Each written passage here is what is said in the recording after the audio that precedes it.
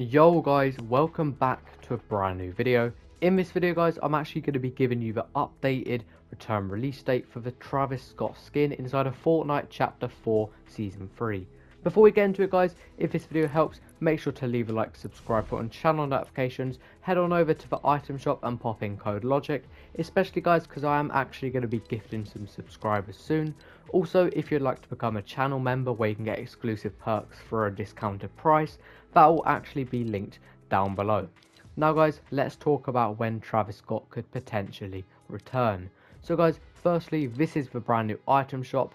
Obviously, we do have this brand new bundle, loads of new bundles, Save the World, um, starter packs, um, all of these emotes, soccer skins, John Cena, all of this cool stuff is back.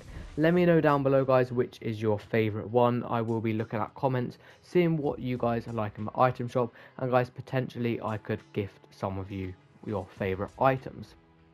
Now guys, let's talk about when Travis Scott could return. Obviously guys, this is the skin, Travis Scott. I'm pretty sure you all know what the Travis Scott skin looks like.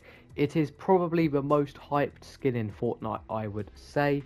Let me know down below guys also if you do already have the skin or not. So, let's talk about when it could return. Firstly guys, a lot of people are saying that the skin could potentially return on the 21st of July.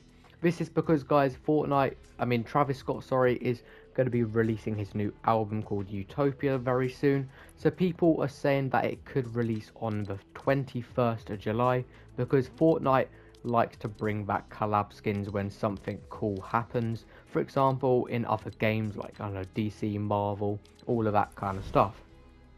Secondly, guys, today is actually Thursday, and guys, we are actually going to be getting a brand new summer update on Tuesday. That means Travis Scott is going to be in the in-game files.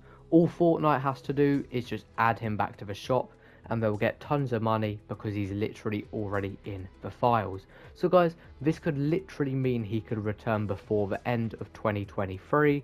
Obviously, it's only June, so 2023 I mean, 2024 is quite a while away, but guys, it is very possible it could return on the 21st of July or before the end of 2023. So guys, if this video helped, make sure to leave a like and subscribe. Remember, use code LoDj1c, follow my socials if you want to become a channel member. Everything is in the description. So guys, thank you for watching, have a great rest of your day, and peace out.